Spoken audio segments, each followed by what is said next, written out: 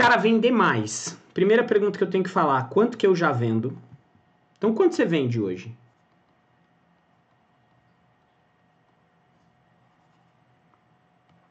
Tá bom? Por quê?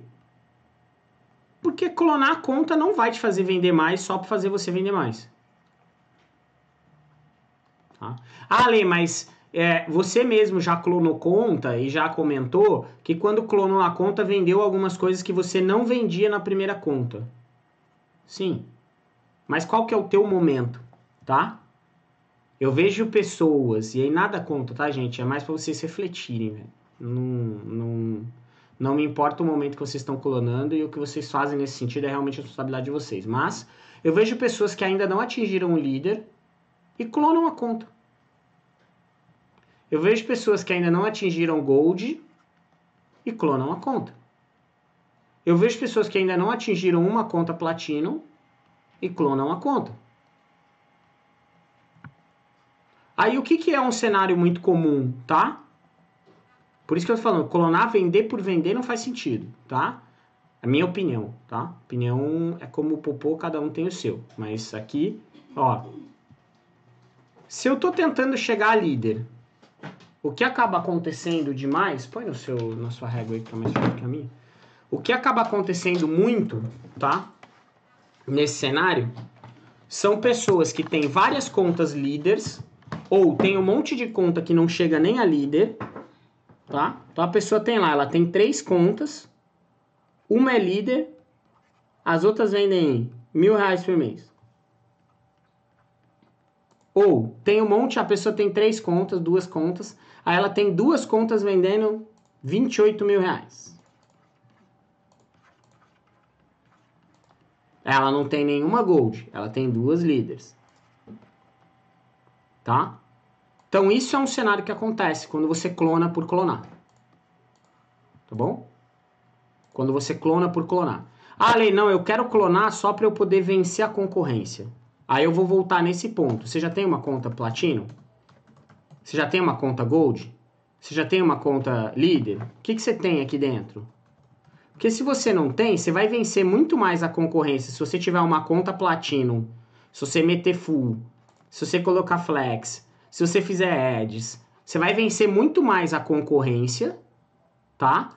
Do que se você tiver três contas líderes lá. Tá? Então não pode ser um motivo só quero vencer a concorrência. Não pode. Na minha visão. Tá bom?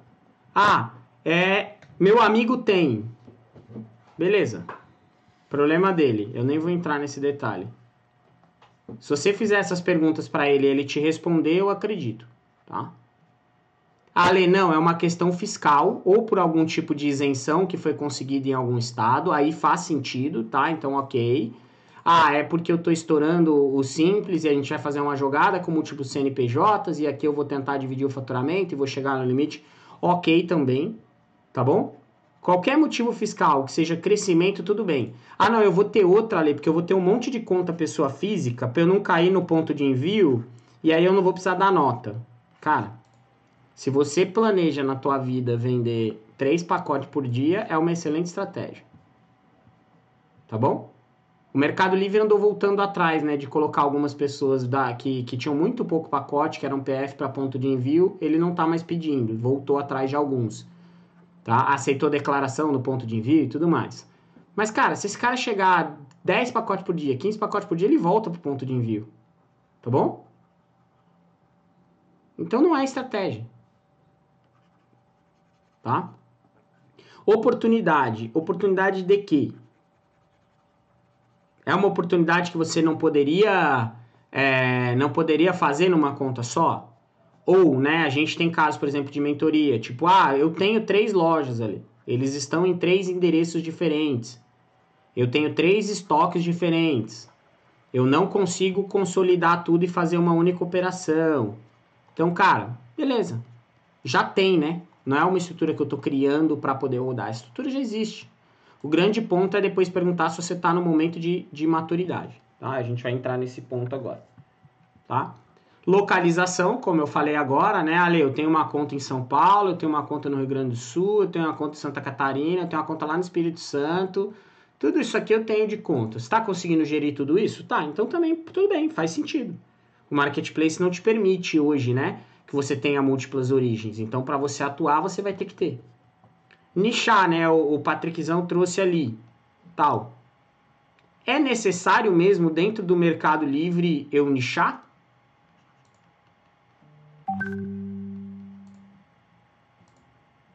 É necessário dentro do B2W Marketplace eu nichar? É necessário dentro do Magalu eu nichar? Ah, Lê, não, tem a ver com uma questão fiscal aqui diferente. Então tá, então não, não é não é simples pela necessidade de nichar, né? Você tá tendo uma você teve que nichar por uma questão fiscal, etc, tal, tudo bem. Mas no marketplace não faz muito sentido na minha visão.